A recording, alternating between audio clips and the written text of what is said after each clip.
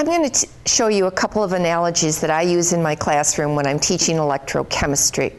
I think analogies are very powerful, students enjoy them, and they're, they help make the learning a little bit more fun and more concrete. So the first one I'm going to do has to do with the table of standard reduction potentials. I'm going to try to explain to the students how this is set up. And for this, I'm going to need some volunteers. And Jan, you look like a, you'd be a good standard for the class. All right, so if you would back up to the board, I'm going to use you at, as zero, okay? You have standard height here, and this is Jan. All right, so Jamie, you're always good for someone tall you have to make sure ahead of time that you get some differences in height. All right, using. Do I need to mark myself? yeah. All right, we got Jamie here. and Priscilla, I.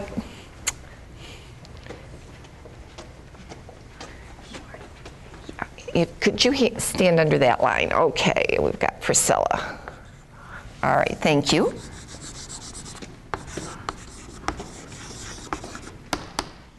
Peg. You just get a few students in the class.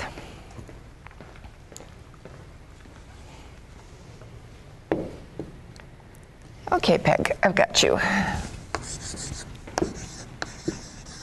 All right, I've measured everybody's height individually, but I can give you the difference between in height between Priscilla and Jamie right now. And that difference in height is 35 centimeters. Okay, that's the difference between Jamie and Priscilla.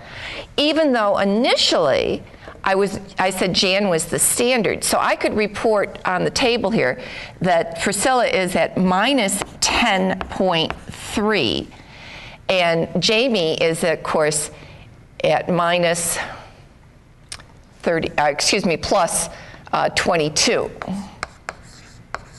And PEG is at, let me do it this way,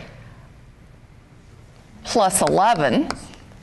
Okay, so how much taller is Jamie than Peg? This is in centimeters.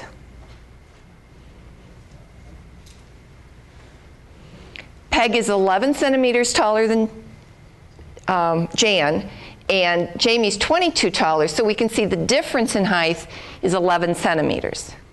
Okay, even though I'm on this scale here, I've done it relative to Jan as our standard. I could have picked arbitrarily the standard anywhere, but what I'm getting is the difference in height using this kind of a scale where I've got, if Priscilla's at minus 10.3 and Peg's at plus 11, then there's got to be 23, 21.3 centimeters between them.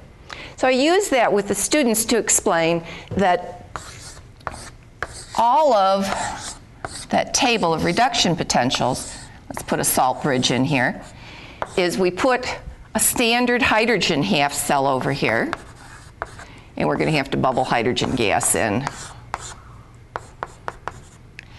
And then our other side, we test various metals versus it. So looking on the chart here that we have, hydrogen is at zero.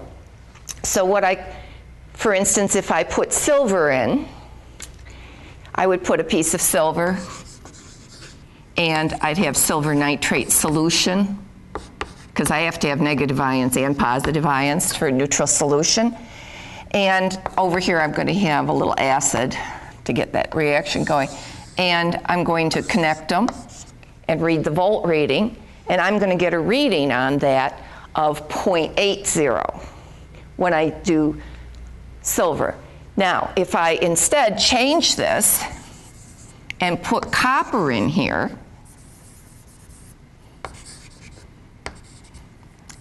excuse me. All right, the, the table tells me that copper is 0.34. Well, what would the reading have to be then? The difference between them is 0.46, I think, right? If I got my math correct.